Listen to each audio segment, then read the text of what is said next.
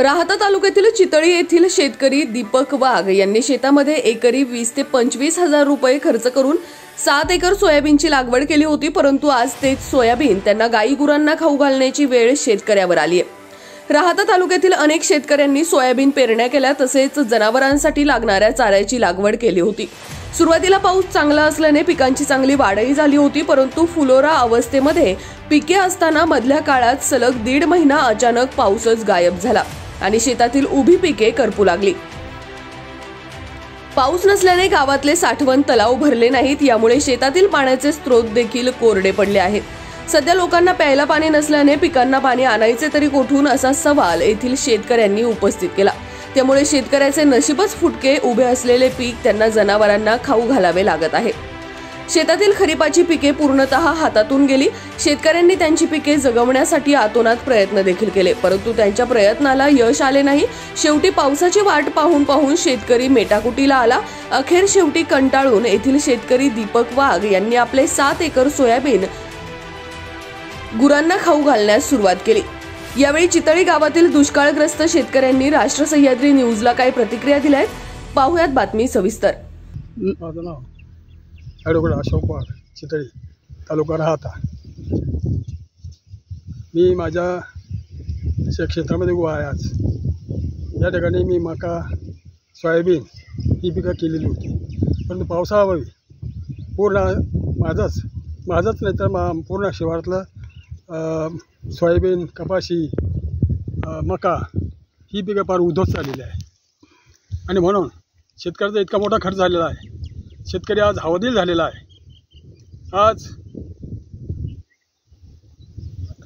शेतकरी हा एक जगाचा पोशिंदा मानतात आणि आज या शेतकऱ्याचे इतके हाल चालू आहेत का झालेला खर्च झालेला खर्च वसुलता नाहीच आहे याच्यामध्ये परंतु आज शेतकऱ्याला देश सोडी लागलेला आहे कर्जबाजरी होऊन आज पिकं उभी केली होती परंतु या वा निसर्गाचं अवकृ अवकृ यामुळं पूर्ण शेतकरी आज उद्ध्वस्त झालेला आहे. आज शेतकरी आत्महत्या करतो. का करतो? आज संपूर्ण काही कर्ज कर्ज काढून सावकारून का प- हे करून त्यांनी जे काही पैसे उचललेले असतात शेती करण्यासाठी तर आज तो त्याचे पैसे कसे जायचे या वंचनमध्ये असतो आहे. कारण संपूर्ण त्याचं काय घरातलं होतं डागडागणे असेल त्यांनी विकून मिळालं तर आमच्या शेतकऱ्याच्या अ, बाय पत्नीचा गळ्यातलं मंगळसूत्र मोडून या ठिकाणी पिकं उभी केली होती. पण आज शेतकरी आज देश सोडू लागलेला आहे. शेतकऱ्याला कोणी वाली आहे का नाही?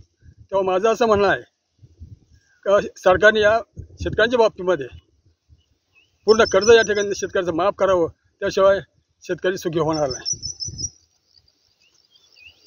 त्याचप्रमाणे अनेक पिकं या ठिकाणी जी वेगवेगळी वेगवेगळ्या पिकाची केली होती ती सुद्धा उद्ध्वस्त झालेली आहेत. ते सगळं आजही काही शेतकऱ्याला साथ द्यायला तयार नाही आणि आता वाळू पिकंच वाळून गेलेली आहे तर शेतकऱ्यांनी आज जनावरांचा चाऱ्याचा प्रश्न निर्माण झालेला आहे. आज शेतकऱ्यांनी एक जोडधंदा म्हणून गाईचं गाई पा- गाई गाई पा पाळलेल्या आहेत. आणि त्यांना चारासुद्धा या ठिकाणी उपलब्ध कसा करावा? आणि मी ते जनावर पशुधन हे जगेल का नाही? अशी आज शेतकऱ्याची अवस्था झालेली आहे. दो दो दोन दोन पैसे मिळत होते ते सुद्धा आता मिळतील का नाही? हा मोठा प्रश्न निर्माण झालेला आहे. म्हणून माझं एक म्हणणं आहे शासनाने पहिलंच जरा चाऱ्याची व्यवस्था करावी. जो काही शेतकऱ्याचा झालेला खर्च असेल किंवा येणारं उत्पन्न जे होतं आज त्याचं संपूर्ण बुडालेलं आहे. आज शेतकरी हातबल झालेला आहे. आणि अशा परिस्थितीमध्ये जी काही शासनाने मदत करणार असेल किंवा करणं असेल ते तातडीने शेतकऱ्याला ती मदत केली पाहिजे एवढीच मी शा सरकारला विनंती करतो आणि थांबतो. चांगल्यापैकी पाऊस झाल्यामुळं उत्पन्न चांगलं मिळालं होतं. परंतु आता झाले दोन हे सोयाबीन पेरून आम्हाला जवळजवळ दोन अडीच महिने झाले. आता त्याची काय अपेक्षा नाही काही त्याचं ते- त्याच्यापासून जरी पाऊस झाला तरी त्याच्यापासून काही उत्पन्न मिळणं असं काहीच नाही राहिलेलं. त्याच्यामुळं आम्ही आता हे सोयाबीन उपटून हे वाळू घालणार आणि भुईमुगाचा पाला जसा जनावराला घालतो आपण त्या पद्धतीनं जनावराला घालणार. कारण चाऱ्याचा प्रश्न बिकट आहे. चारा मिळणार नाही म्हणून आता हे आज उपटून कारण वाळून जर गेलं तर पाला गळून गेला तर त्याचा उपयोग होणार नाही. म्हणून आम्ही पाल्यासह उपटून अन वाळणार आणि जनावरांना करून घालणार. चितळीमध्ये तीस ते पस्तीस दिवसापासून पावसाने उघडीप दिली. आणि ह्या हातचा आलेला हा घास सोयाबीनचा. आज जरी तुम्हाला ही सोयाबीन हिरवी दिसते पण आता पाऊस जरी झाला दोन दिवसांनी तीन दिवसांनी तरी या सोयाबीनला शेंगही भरणार नाही. आणि याचा उपयोग काही होणार नाही. त्याच्यामुळे ही सोयाबीन उपटून या ठिकाणी हळूहळू आता आम्ही जनावरांना खायला घातलं. कारण जनावरांचा चाऱ्याचा प्रश्न अतिशय बिकट झालेला आहे. त्याच्यामुळं सगळेच या चितळी परिसरातील आणि आजूबाजूचे सगळे शेतकरी हे हैराण झालेले आहे. आता शेतकऱ्यांना याच्या याला उपटून घातल्याशिवाय पर्याय नाही. याच्यावर सरकारने दखल घेऊन आपल्या राहता तालुक्यामध्ये जवळजवळ सर्व शेतकरी दुष्काळ घोषित करावा असं मला वाटतं. तुमची सोयाबीन किती एकर आहे? आमची सोयाबीन जवळजवळ माझी सोयाबीन सात एकर आहे.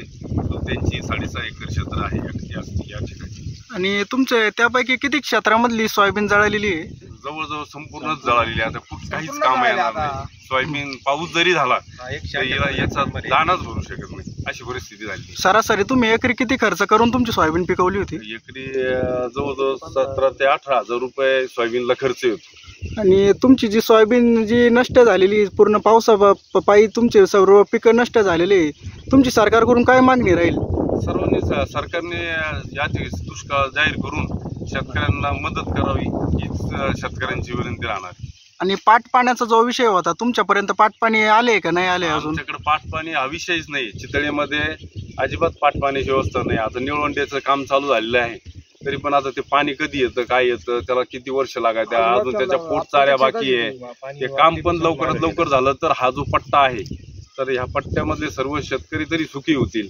ओझं जरी पाणी आलं तरी पण मग तेवढा फायदा होऊ शकतो शेतकऱ्यांना. कारण कमीत कमी जनावर विहिरीला जर पाणी उतरलं तर जनावरांना वगैरे चाऱ्याची व्यवस्था होईल.